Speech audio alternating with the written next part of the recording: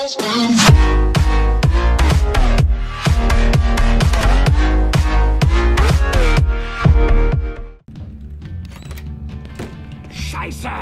Hast du den... Pock, pock. Immer ins Gesicht.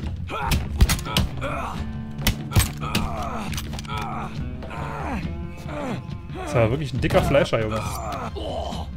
Leck mich! Weißt du, was der Schlachter mir antun wird? Hättet euch besser nicht mit Irish Point angelegt. Manchmal kann man die Leute überreden, mitzumachen, manchmal nicht. Äh, ja. Gehabt. Ja, weiß ich nicht. Manche so, manche so, ne? Den Boss konnte ich nicht verschonen irgendwie. Ach, wahrscheinlich musste ich ihn vorher richtig runterballern oder so. Obwohl, nee, eigentlich nicht. Ah, ich weiß auch nicht. Ich glaube, ich muss ins Bett. Gute Nacht. Alles klar, Lais. Sowas weiß man doch, ob man ins Bett muss oder nicht. Ich weiß zum Beispiel auch, dass ich eigentlich ins Bett müsste. Ein bisschen zeitlicher. Ich gehe aber nie eher ins Bett, weil ich dann immer wieder wach bin. So, Burger zuweisen. Der Schlachthof ist sauber. Schickt deine Leute. Hey, kümmert euch nicht um die Leichen. Meine Jungs wissen, was sie damit machen müssen. Wenn wir die Distille zurückerobern, kann dieses fette Arschloch Barbieri nirgendwo anders mehr hin. Schön. Schlachthof gesäubert. Ich weiß auch schon, wo die Leichen verschwinden werden, nämlich in der Wurst, die da verarbeitet wird. Gott. Zu der Zeit hätte ich wahrscheinlich kein, kein Gramm Fleisch gegessen. Außer ein Steak oder so. Äh, Thomas Burke kam als Kind in die Staaten, als sein Vater aus Irland floh. Wahrscheinlich wegen der Rolle, die er dort im Bürgerkrieg gespielt hatte. Als sein Vater einem Herzinfarkt erlag, fing Burke an, illegal Schnaps herzustellen. Er betrieb die Schwarzbrennerei in ganz großem Stil und das fiel Sal Marcano auf. Burke machte in der Mafia Karriere, konnte aber wegen seiner Herkunft kein festes Mitglied werden. Wie rassistisch? Kein. Kein Irländer oder was er ist. Ja, Darf da mitmachen? Horrorgeschichten gehört, was in diesen Räumen passiert ist. Was? Homo-Geschichte? Jetzt schreiben. The fuck? Polizeidienstleiterin. Burks Verbündete Fiona Davidson kann die Polizei für kurze Zeit aus bestimmten Gegenden abziehen. Blaue Zonen werden entfernt und Verbrechen ignoriert. Um sie in der Einsatzzentrale anzurufen, wähle sie im Auswahlrat aus. Alles klar. So, hier ist noch irgendwo eine. Eine Weste, die ist natürlich drinne, ne? Natürlich ist die drinne.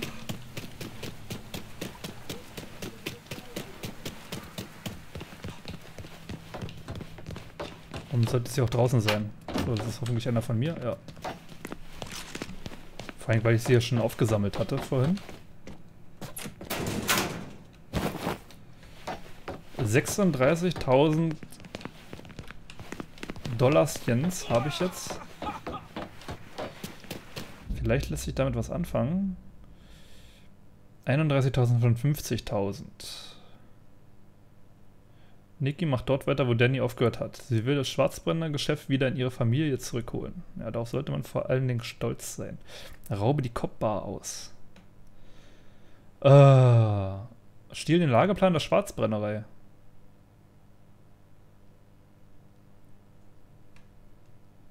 Kriege ich dann noch mehr Geld für die Kopf.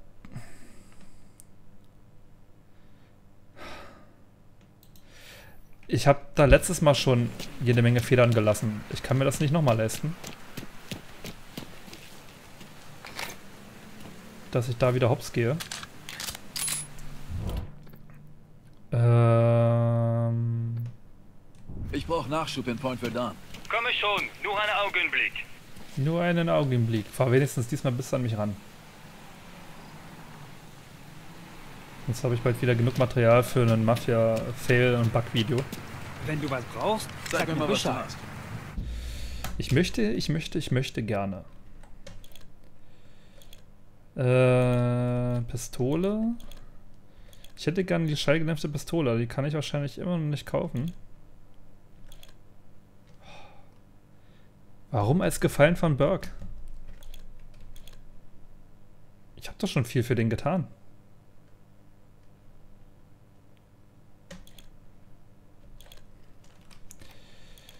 Was ist mit Gewehren? Die habe ich ausgerüstet. Die kann ich sogar kaufen. 26.000. Nochmal Munition kaufen. Munition ist schon voll. Okay. Und damit war es das schon fast wieder mit dem Ersparten. Kann ich noch bei den Pistolen irgendwie zuschlagen? Ne, 13.000. Da ist es schon wieder vorbei.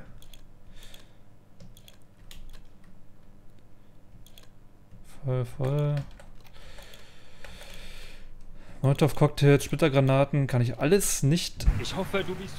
Erholen. Das ist so ein bisschen ärgerlich.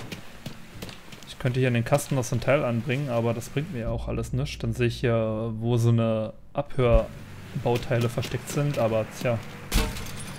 Wozu?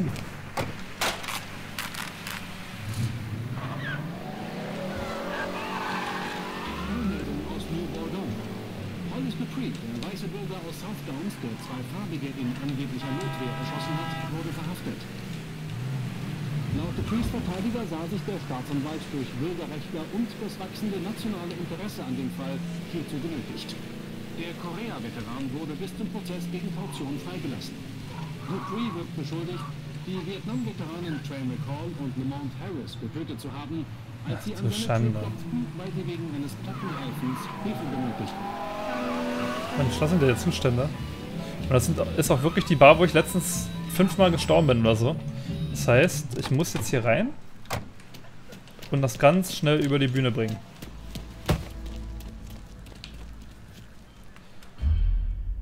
Da sind Bullen. Zwei Stück. Das Ding ist, ich muss die umlegen. Bevor... Ja, ich muss die umlegen, weil sonst sehen sie, wie ich einbreche. Okay, das hörte sich nicht gut an. Kommt er? Kommt natürlich nicht.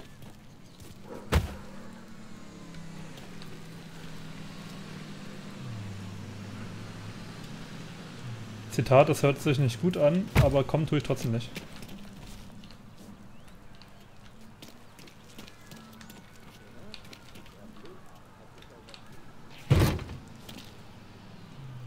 Versuchen wir es nochmal, Junge.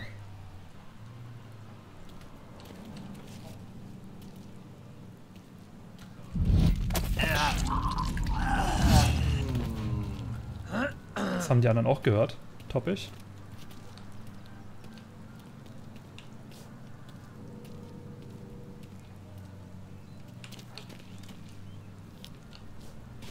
Nein. Also die Steuerung, die Deckungssteuerung ist echt ein bisschen für ein Popo.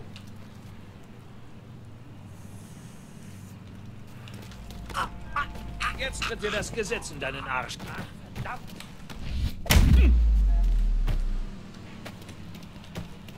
Problem solved, würde ich sagen. Das heißt, ich kann jetzt hier unauffällig einsteigen und alles kaputt machen. Wenn das so glimpflich letztes Mal abgelaufen wäre. Aber nee. Aber warte mal, das ist das Falsche. Ne? Ich muss wirklich da rein? Hab ich veräppelt? Das sollte ich nämlich letztes Mal hier kaputt machen, habe ich nicht geschafft. Er ist ja großartig. Ist ja wirklich großartig. Ich muss mich wirklich um einen Polizeiknast kümmern? Also Polizeibar? Jesus Christus.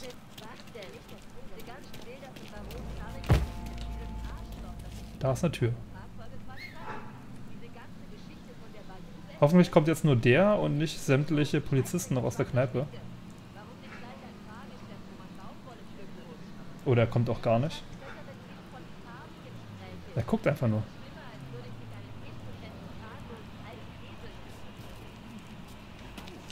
Ich mach ihn alle! Du machst hier gar keinen alle. Zack.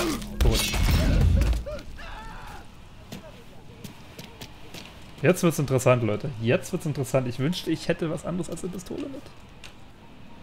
Vor allem, die sehen mich schon durch die Tür. Guckt, das, guckt euch das an.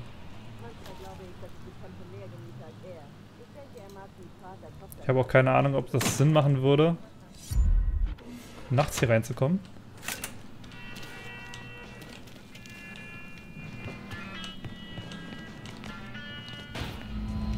Oh, ist das eine Ausraum? Alles klar. Das war einfacher als gedacht.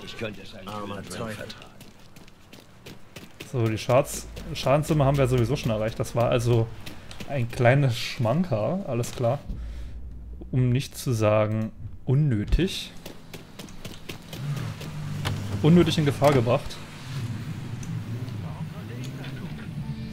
Als Schwarzer bei zu diesen Zeiten in der Polizeibar und dann beim Clown erwischt werden. Ihr könnt euch ausmalen, was das hätte werden können.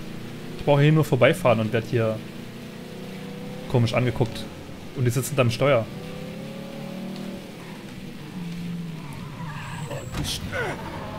Die Fahrzeugsteuerung ist also sehr gewöhnungsbedürftig je nach Auto. Und das Auto ist sehr gewöhnungsbedürftig.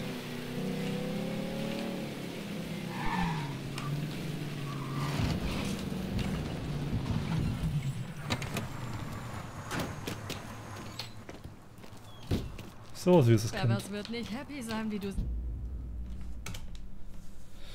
Ja, du hast Karls Aufmerksamkeit. Er ist in der Sweetwater-Brennerei. Irgendeine Idee, was mich da drin erwartet? Er ist so ein Sumpfheini, völlig ballerballer. Was glaubst du, wie der reagiert? Trotzdem könnte es sich lohnen, ihn in der Nähe zu behalten. Keiner kennt das Bayou so gut wie er. Ich schulde dir was, Nicky. Das kannst du laut sagen. Wer was wartet auf dich? Bin mal gespannt, wie du mit ihm klarkommst. Wie die Leute auch hier teilweise total leise vor sich hin stammeln. Das ist echt... Wie der Graslieferant im ersten äh, Bezirk. Der hat auch die Zähne nicht auseinandergekriegt. Oh, der Motor läuft sogar noch. Praktisch. So. Ich würde sagen, ich fahre jetzt einfach... Liegt der auf dem Weg? Einfach gerade durch, oder nicht? Ja. Ich würde sagen, ich fahre doch nicht außen rum. Was ist denn los mit euch?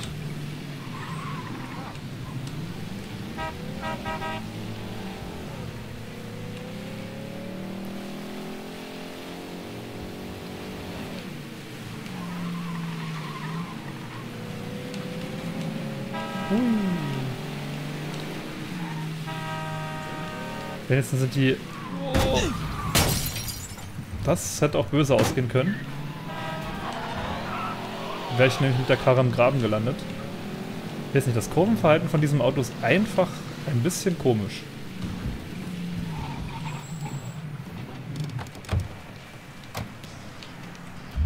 Oh, ein Wachposten. Nichts gegen Schwarze, aber du solltest gehen. Ah ja.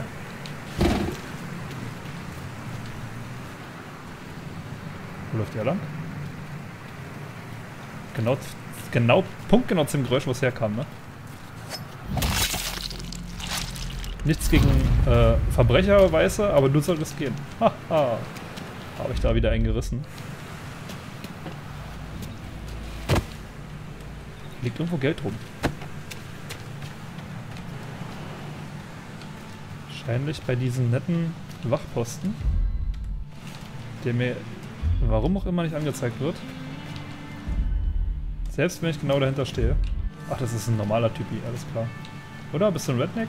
Mich umbringen? Nö. Ich vertraue mal dem Sichtsystem. Weil man da öfters auch mal total verlassen ist. Hier gibt es doch ein Türchen, ne? Ja, habe ich mir doch gedacht.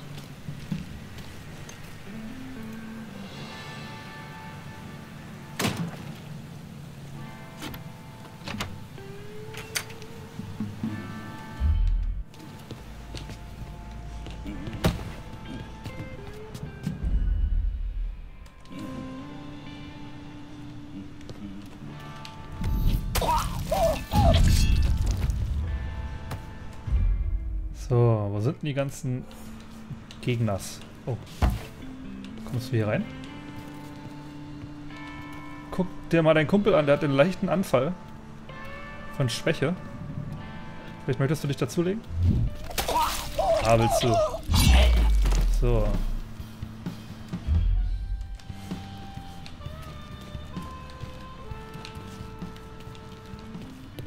Tierisch aufpassen, nicht, dass ich hier in irgendeine Falle reinlatsche.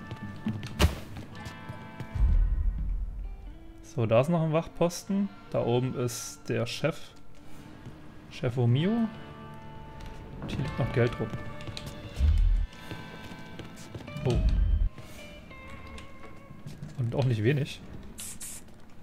Hä? Hat gerade gemacht?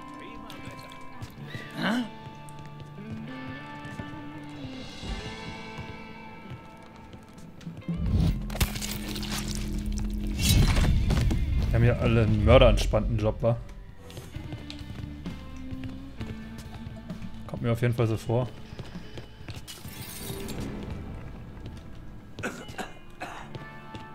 So, wir gehen erstmal nach oben. Liegt quasi auf dem Weg.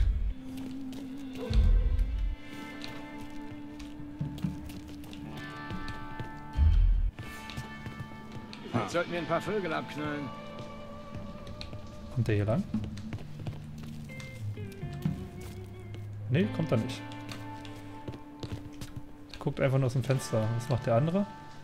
Ah, die stehen etwas ungünstig. Ich bin viel zu gut für diese Scheiße.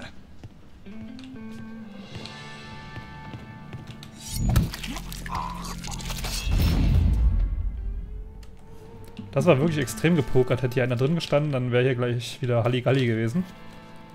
Schon wieder 11.000 Dollar. Jetzt müsste man nur Geld haben, um das... Jetzt müsste man das Geld in irgendwie investieren können. Zum Beispiel eine Waffe, die man nur als Gefallen bekommt.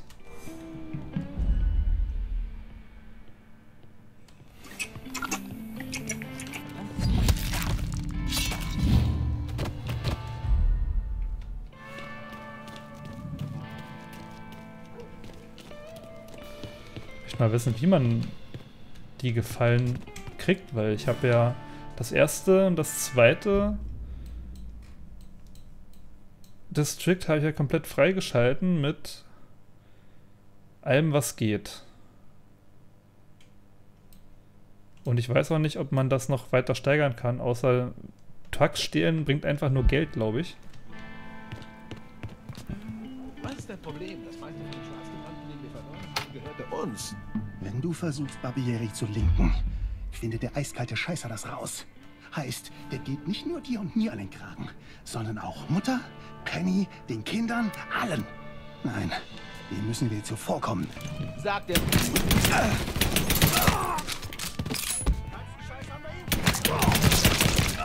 Was ist los, Junge?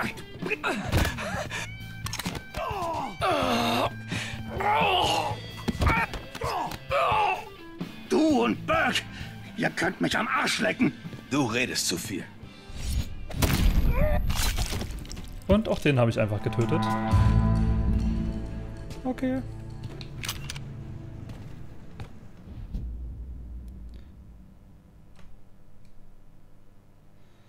Ja. Ich weiß nicht. Irgendwie kann ich die Bosse hier nicht mehr verschonen. Es, es, es geht einfach nicht. Müssen einfach alle den Tod der Gerechten sterben. Geputzt und bereit für deine Jungs. Hoffentlich steht sie noch. Meine Jungs sind auf dem Weg. Alles vorbereitet. Der Schlachter ist unterwegs.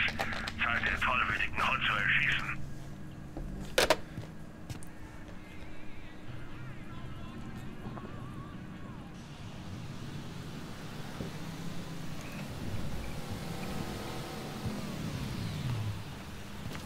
Es kommen auch immer nur zwei Leute mit je vier Leuten, äh, zwei Leute. Zwei, je zwei Autos mit je vier Mann, um diese Einrichtungen zu beschützen. Ne? Und wie hat es Mr. Clay geschafft, dass Thomas Burke, Vito Scaletta und diese Frau namens Cassandra zusammenarbeiteten? Er hat alle eingeladen. Zu einem Treffen in einem alten Plantagenhaus unten im Bayou. Als dann alle versammelt waren, erklärte er ihnen, wie er Marcano zur Strecke bringen will. Lincoln kann sehr überzeugend sein. Ja, das stimmt. Wie man an meinem dicken, fetten Messer sieht, kann ich sehr überzeugend sein.